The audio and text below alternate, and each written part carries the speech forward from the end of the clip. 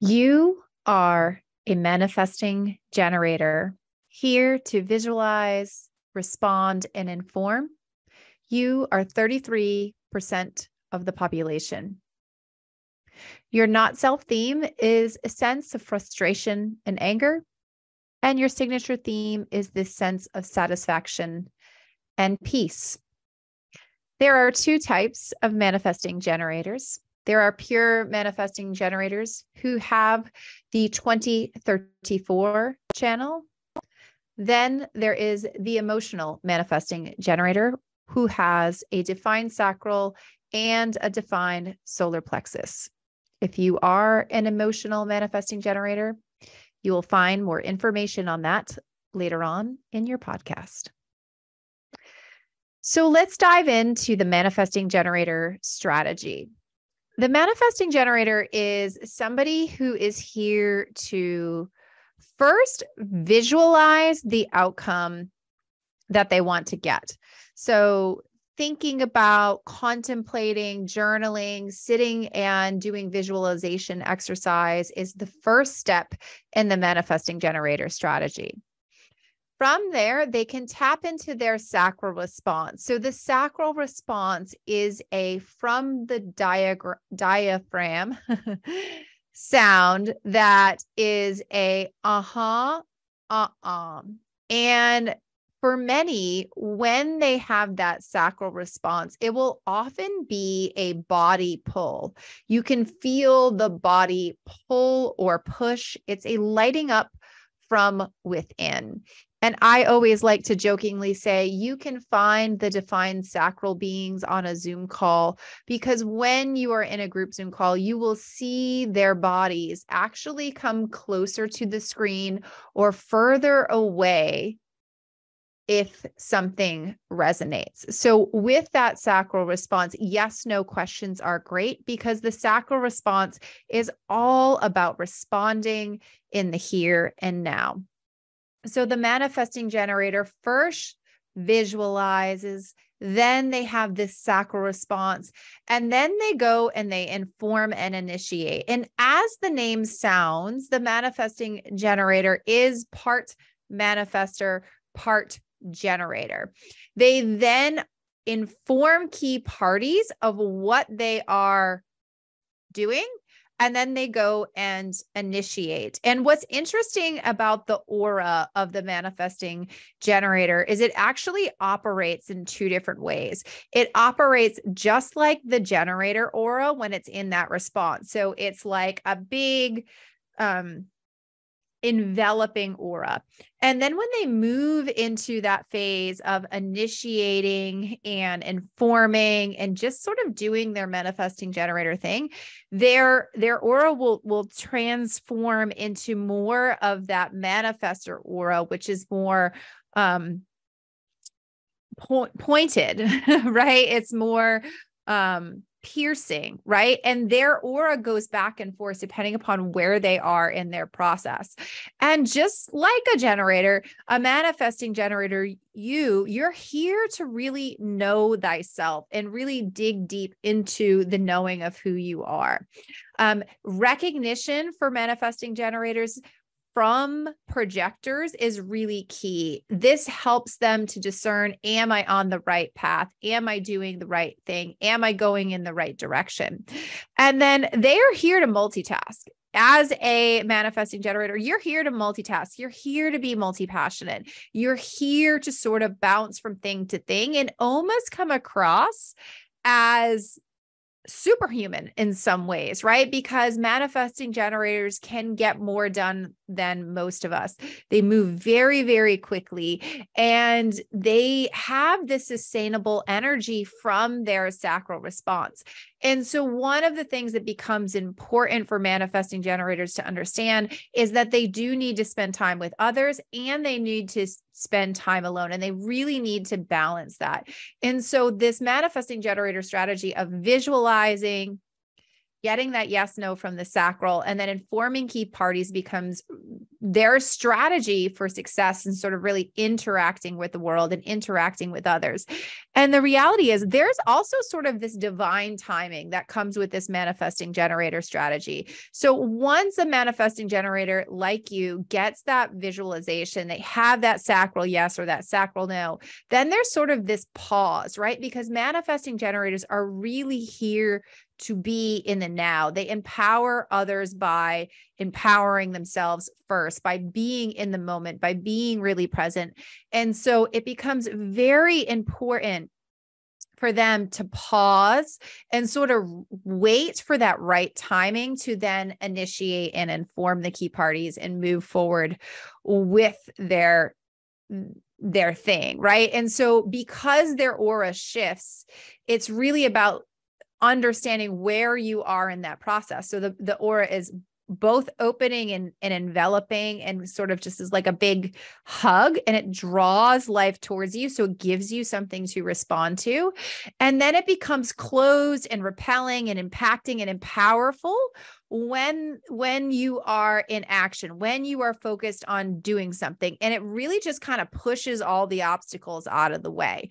And so when we break down this strategy for an mg of visualization of response of pause of informing the pause before the initiation and the pause to visualize allows an mg to get clear on what they really want. Because they're multitaskers because they're multi-passionate they often struggle to slow down and they almost kind of have to like dip their toes into certain things to discern is this for me or is this not for me and one of the really amazing things about you as, a, as an MG is that you have sort of this interconnectedness. You may, to the outside world, seem like you have all of these different hobbies and none of them are connected. Or, you know, you're taking a class in, in somatics, attachment theory, human design, and um, something else, right? Just pick something random.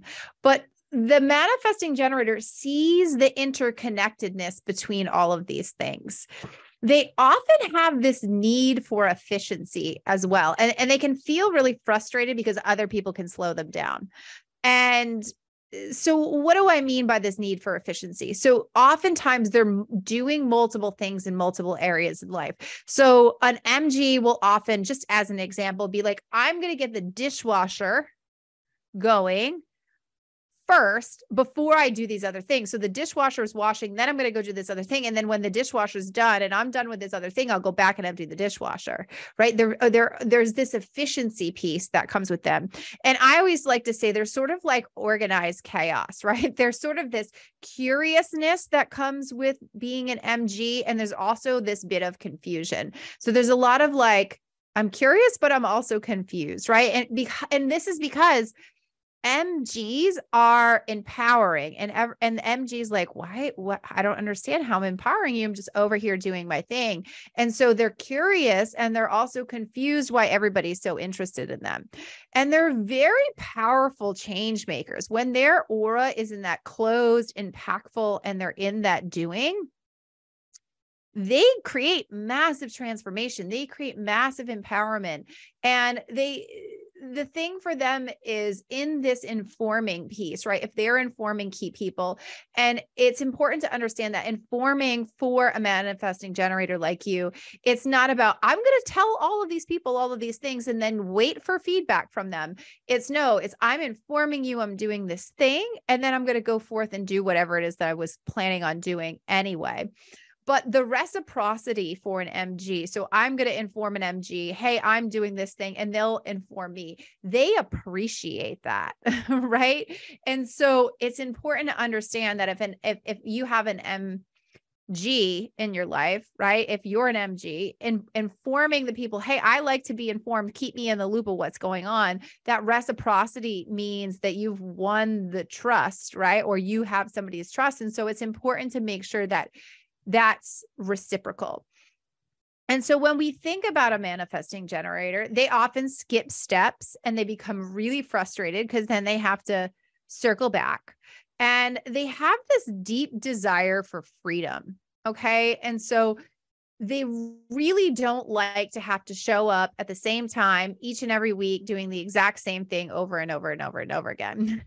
um, they are very empowered when they are in alignment or in congruence with their design. And therefore, they empower other people. They have this sort of just like confidence about them, even though they might not feel it uh, from the outside where they're like, people are like, wow, look at that MG. And the MG is like, I don't see what the fuss is all about.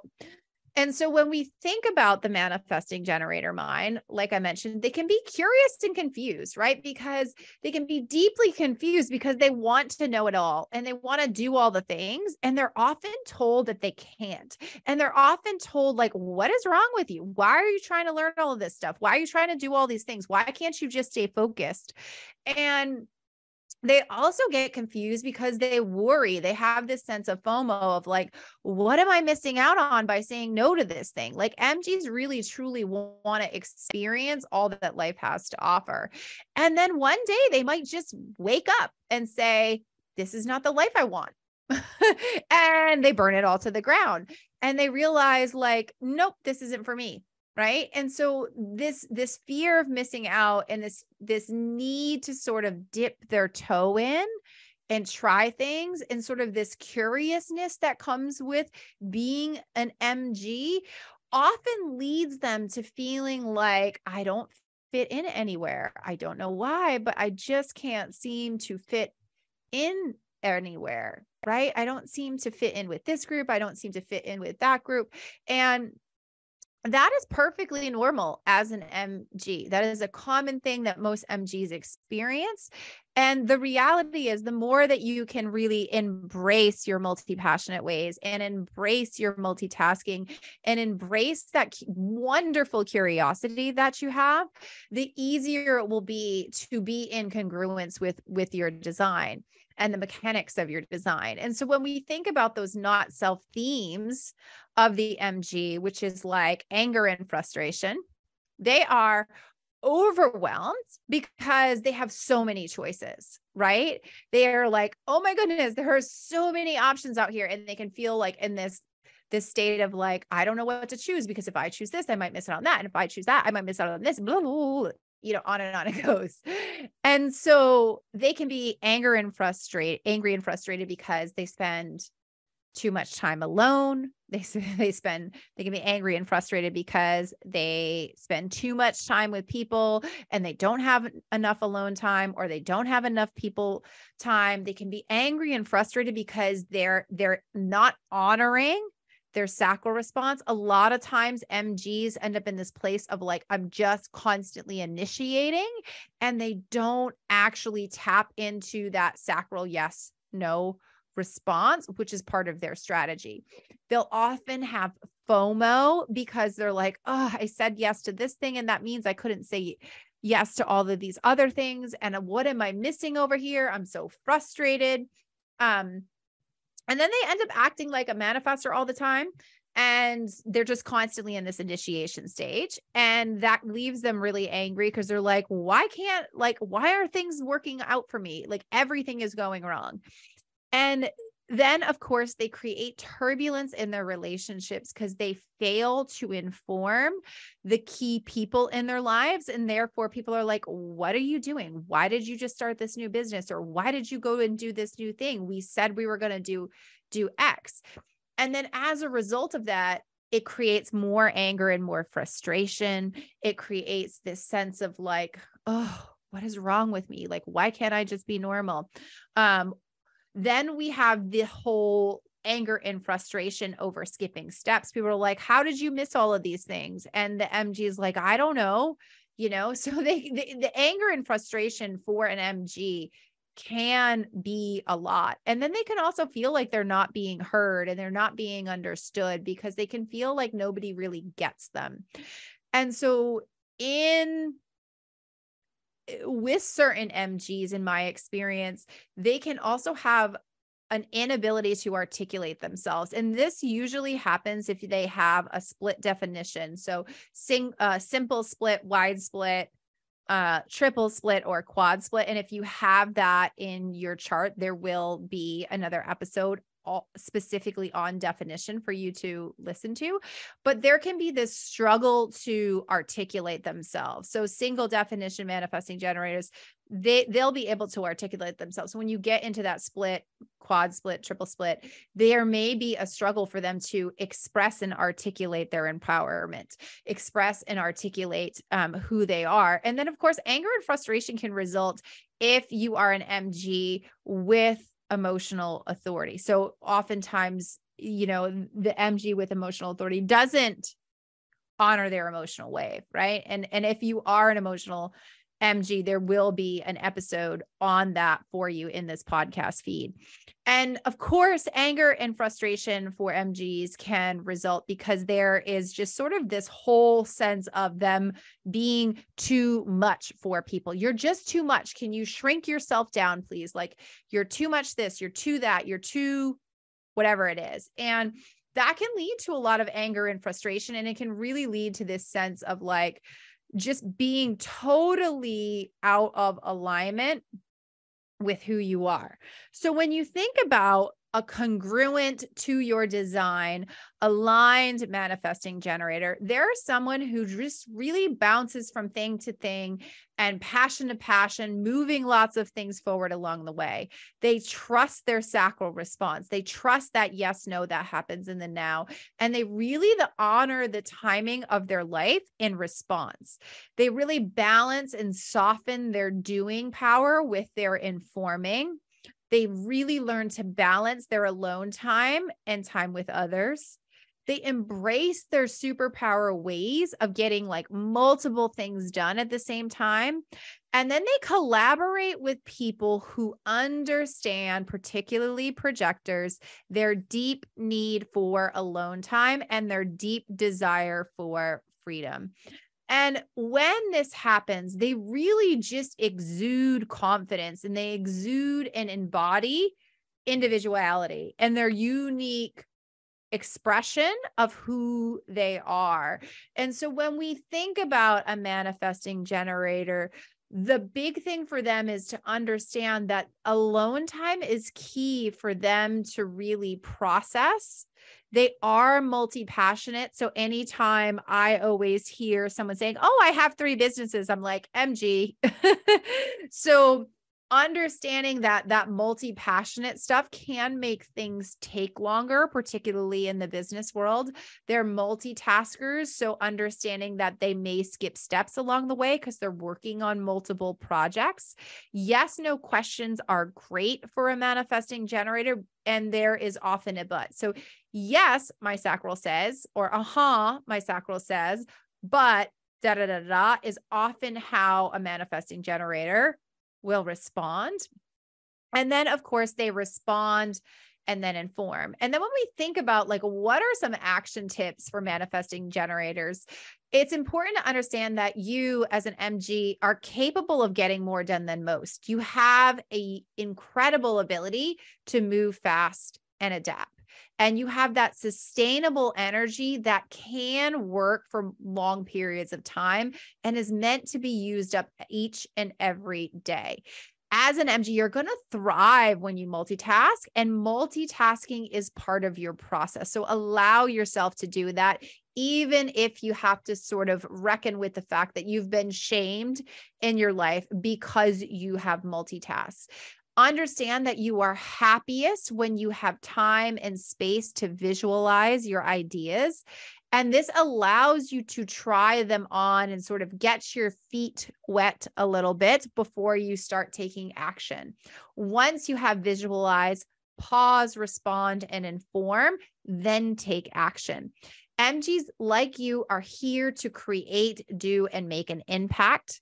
So, momentum and going fast can be when paired with it informing can feel like you're stepping out of your momentum and can feel very frustrating and feel like oh i have to inform these people and it's going to slow me down However, informing decreases resistance in your relationship.